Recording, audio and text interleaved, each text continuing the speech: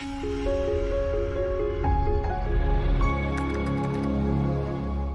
hi everyone, welcome back to our YouTube channel. Today we have Ravindra with us. He is a CS graduate uh, from a college in Vishakhapatnam. He recently got placed in MountBlue as a software engineer. Today we are going to be discussing about his journey and how did he land this role. So uh, welcome Ravindra. Hi. Uh, so congratulations on cracking this uh, job. Uh, cool. So we will be talking about your experience. Uh, so can you just start with your education background a little bit? Yeah, hi everyone. I did my graduation in computer engineering in 2022 from Vishakhapatnam. Uh, I don't know about coding that much in my during my BTech. I just know the basics of Python and HTML. That's it. Okay, so uh, even though you had computer science in your graduation, you didn't really start with coding at that time. Yes. Okay, so you started with your coding journey with AccioJob only. So can you tell us a little bit like how did you get to know about AccioJob? Who introduced you to AccioJob? After my graduation, uh, I get to know about AccioJob through a friend. Uh, through a friend, and he suggested that uh, one of his one of my friend is learning in AccioJob. So I contacted contacted him and asked asked him about his experience and how he is learning and the curriculum and how the placements are uh, going. And he's uh, he tell about his experience. So uh, later I also did my own research through online and I found it is quite affordable and uh, useful. So I joined AccioJob.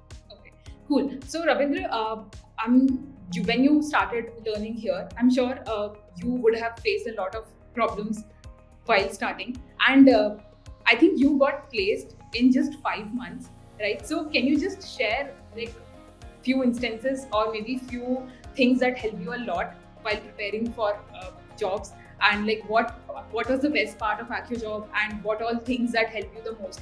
Was it the gym section or was it uh, the teachers? Were you someone who used to attend live classes or like was it uh, very spontaneous for you? Uh, I I always uh, join only live classes. I hate watching recorded videos, so I only join live recordings. I mean live lectures. Uh, the main thing is uh, everyone has to create one peer group. It will help a lot uh, while learning. Though everyone can learn alone, but it's not that consist- consistent. So I highly recommend everyone to create their own peer group, and it, it will make uh, learning easier rather than learning alone. So, and uh, and I like the gym section, and highly like the live dot session, not live dot session, the chat session, chat feature in AccioJob and I always want try I always use it. I don't want I hate the future live out session. Maybe I have my own reasons like waiting and waiting long time there. So I always like, like to use chat option. And when it comes to tips, I always recommend try to explore as many things as possible la- rather than sticking to one approach. Okay. So basically, what helped you getting placed so early in AccioJob would be that there were a lot of uh, questions in gym that you used to try on your own, right? And you basically had a peer of uh, group, basically friends with whom you Yeah. practiced a lot of questions. And apart from that, a doubt section that we have, right? Chris, you used to ask a lot of uh, doubts there, and they got resolved. Yes. Yeah. Tell I always want like to explore more things, uh, more things. Like even though we are learning arrays, I wanted to explore strings. I always wanted to move ahead. Uh, everyone else. Okay, got it. So from what I can, uh, you know, make out from this conversation is that you were very much proactive from your own end, right? Yes. Uh, you always used to try out topics on your own, and uh, that was something which really helped you in getting placed so. Got it.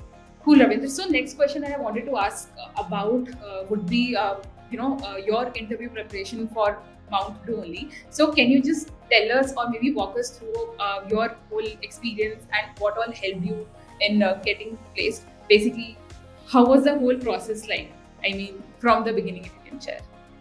Yeah. Okay. Uh, I got mail from MountBlue around Sunday. Okay. Uh, I only got two days. Like uh, today, I got the mail from MountBlue, and day after tomorrow, I have that interview. So I have very less time. I don't. I I don't know what to do. Uh, I uh, then later I realized I have to work. So I started learning only I um, started learning arrays and strings. Focus on these two topics mainly. I I just uh, kept an entire day for these two and started trying to do as many problems as possible and try to find more approaches rather than solving same problem again and again. Try to find more approaches. Uh, it I allocated one entire day and after due, I, uh, on the interview day itself, I started.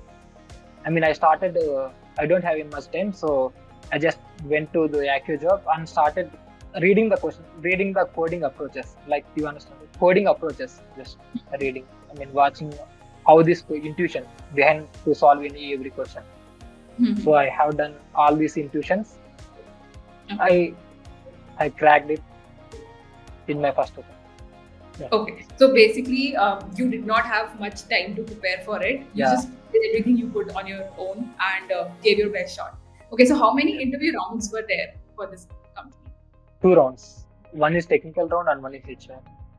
Okay, so in the technical round, were they asking you like high level DSA question or were they medium or were they beginner level? Uh, they are basically medium level. Medium, one is medium to easy level and one is to medium to hard level. Okay, got it. So uh, once you saw those questions, were you like instantly uh, able to solve them, or you were able to do it with the help of you know hints they were giving you? No. How was? Yeah. No. Uh, the first question is it is medium to medium, medium easy to medium level. Even though it is easy, medium level, uh, it takes me about almost 45 minutes to do that because I saw that type of questions, but it is different from what I have seen.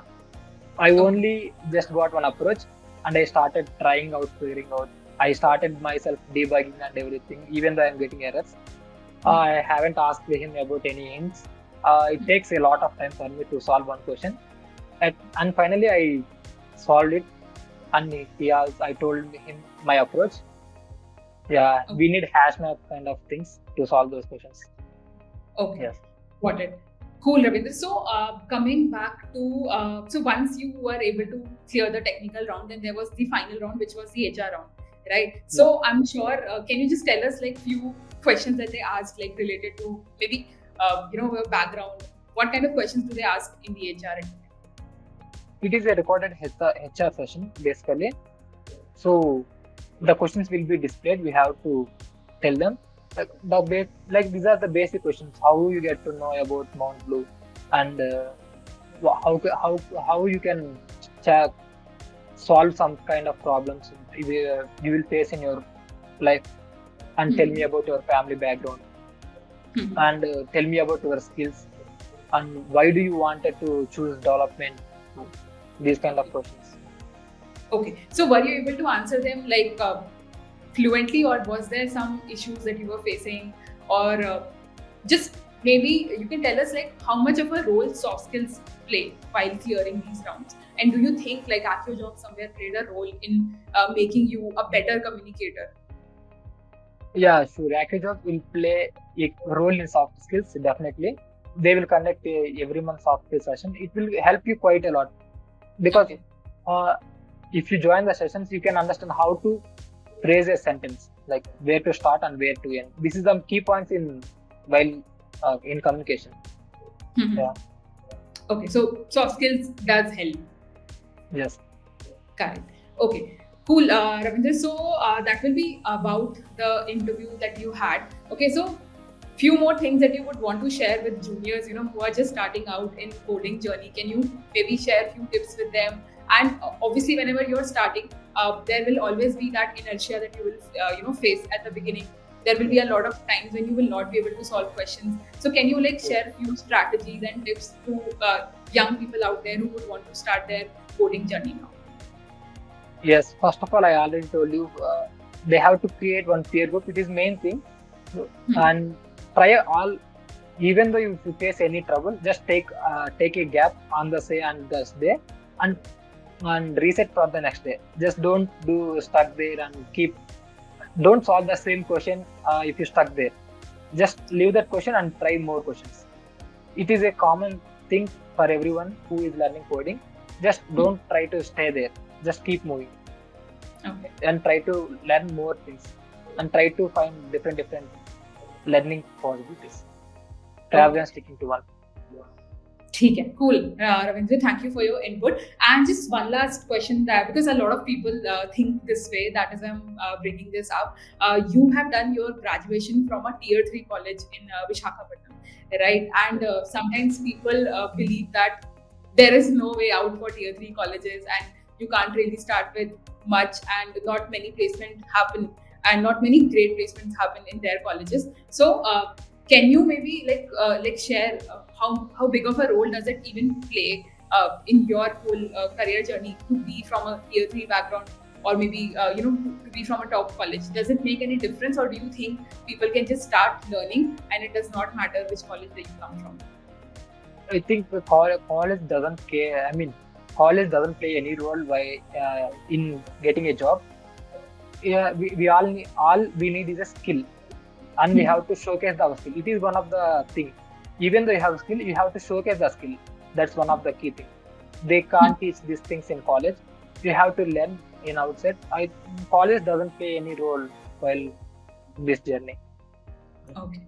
Cool, Ravindra. So uh, we'll just end this with uh, one last question. Uh, you have gotten placed in just five months uh, with us, right? But I'm sure you must be uh, still learning DSA. So any future plans that you would like to share with us? Like, will you be continuing studying with AccioJob, or you'll be picking up few more other things as well? yeah i will continue learning from learning dsa but i will take a small break and i will choose development uh, when I once i join in company after that and i will and again i will resume my ds started learning dsa after three or four months maybe Okay. When is your joining? it's 21st august Okay. Cool, Ravindra. Thank you and all the best for your uh, upcoming job ahead. And thank you for sharing your journey with us. Uh, we hope the students that are watching this uh, would find inspiration from you and can, uh, you know, start their coding journey uh, soon. And uh, yeah, thank you so much. And uh, if you guys want to see more such content, want to see more uh, inspiring stories from AccioJob students, you can just stay tuned with us. We will keep bringing you more. Thank you for your time.